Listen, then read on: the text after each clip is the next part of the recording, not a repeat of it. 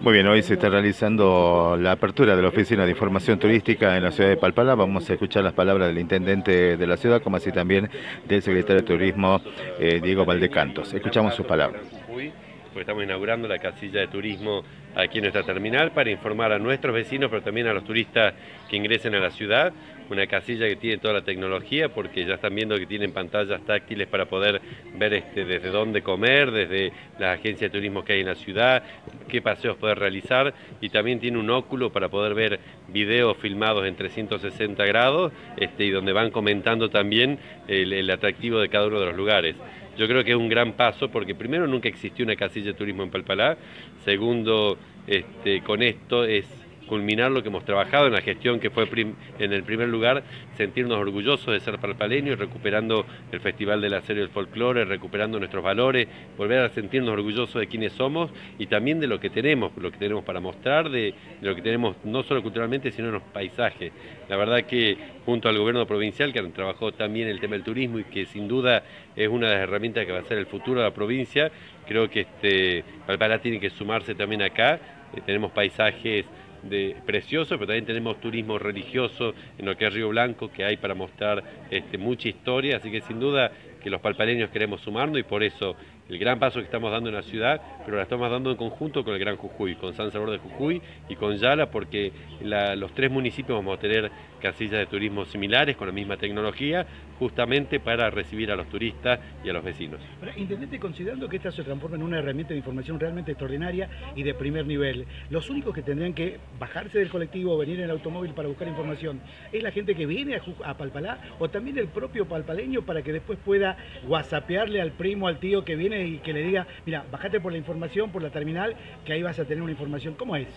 No, esto está para todo el mundo, obviamente, y los palpaleños que todos nos ayuden a mostrar lo que tenemos en Palpalá y sentirnos orgullosos de que es nuestra, nuestra localidad, que tenemos cosas preciosas para mostrar, la serranía, tenemos en, Forestal también muchos atractivos, tenemos lugares muy preciosos y como te decía también este, religiosos para este, históricos. En la casilla no solo todo es tecnológico, hay también folletos, folletos que tienen código QR también para poder tener algo de tecnología, que eran los requisitos que nos pedían desde Nación al momento que hemos gestionado estos fondos y agradezco al gobierno que nos estuvo acompañando en la gestión. En el 2016 hemos presentado este proyecto, bueno, finalmente salió, pero justamente este, viene a,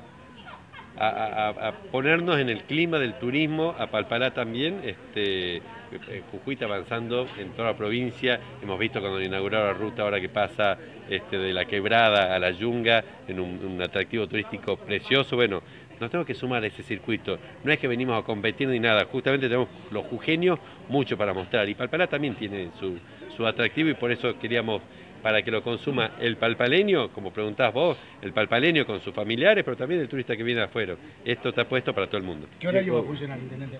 Bueno, eso todavía lo, tengo que confirmar, pero van a ser este, en horario en donde hay mayor este, circulación en, el, en la terminal. Diego Valdecantos, otro de los objetivos cumplidos también en cuanto a poner este tipo de oficinas en diversos puntos de la provincia. Así es, la política turística del gobierno de, Gerardo Morales plantea justamente eso, el poder eh, generar turismo en toda la provincia, no solo en los puntos que históricamente se conocen, como es nada más que la, quebrada, estar en cada una de, de las localidades, en este caso lo que es el Gran Jujuy, como decía recién el intendente Pablo Palomares, es muy importante el poder eh, incorporarse a lo que son las oficinas turísticas, el poder mostrar todo lo que tiene la, ciudad de, Palpalá para poder mostrar a los turistas, mostrar a los mismos palpaleños y como bien decía el intendente, que los palpaleños puedan contarle a sus amigos, a sus familiares, a, los vecinos mismos, este, todo lo que tiene para mostrar Palpalá y al mismo tiempo estar dentro de lo que tiene que ver con el turismo. ¿Cuáles son las próximas actividades de, su área? Desde el área, bueno, el próximo 2 de diciembre vamos a estar este, realizando el anuario de gestión eh, allí en el Teatro Mitre, donde vamos a mostrar todo lo que se realizó este año 2019 y donde vamos a poder ver el balance de la llegada de turistas, de, lo que dejó el turismo para la provincia, este, que creo que es importante mostrar cada año lo que, lo que uno desarrolla durante todo el año para mostrarle al jujeño en qué se, en qué se gasta su dinero, ¿no? Como siempre se dice, poder mostrarle y hacer una gestión este, de por qué el turista sigue llegando a la provincia y cada vez llega más. Eh, secretario, considerando la gran cantidad de turistas que en los últimos años eh, han comenzado a llegar con mayor afluencia a la provincia de Jujuy, ¿habrá algún departamento en la provincia que, que tenga que menoscabar la importancia del funcionamiento de una cabina de información turística? Eh, todavía nos faltan muchos lugares poner eh, cabinas de información turística, es realmente importante porque el turista cuando llega a algún lugar lo primero que hace es preguntar, porque no conoce, nos pongamos en el lugar del turista, llega a un lugar donde no conoce y necesita información, necesita saber dónde hospedarse, dónde comer, qué excursiones realizar, a dónde, a dónde ir, qué rutas utilizar. Este, recién mencionaba este, Pablo eh, la unión de lo que es la quebrada y las yungas, una ruta turística realmente espectacular,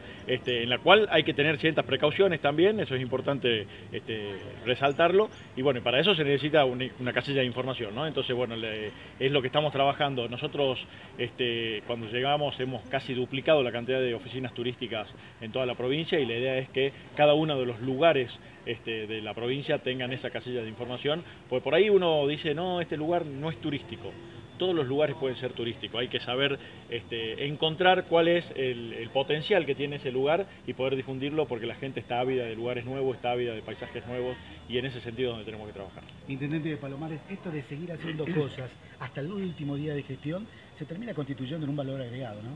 Bueno, hacer compromiso y ese compromiso se traduce solo en el cariño que le tengo a Palpalá, a mi tierra, a mi ciudad, a mi gente y por eso este, hasta el último día lo voy a seguir haciendo y cuando ya no esté en el cargo voy a seguir también este, estando cerca, dando respuesta a los vecinos, acompañando la gestión que viene y tratando de que Palpalá siga mejorando. Te contesto lo de hace un rato, los horarios, esto es muy importante, va a ser los días de semana de 7 a 13 y de 14 a 20 y después los sábados y domingos de 8 de la mañana a 20 horas, o sea, está abierta de domingo a domingo. Quiero agradecer al personal del municipio que se estuvo capacitando para poder dar respuesta, para poder atender al turista, para poder atender al vecino. Quiero agradecer también al, Instituto Municipal y al área de,